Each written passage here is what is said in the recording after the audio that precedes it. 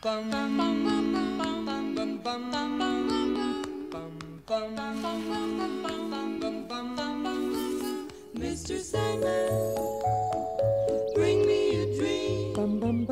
Make him the cutest that I've ever seen.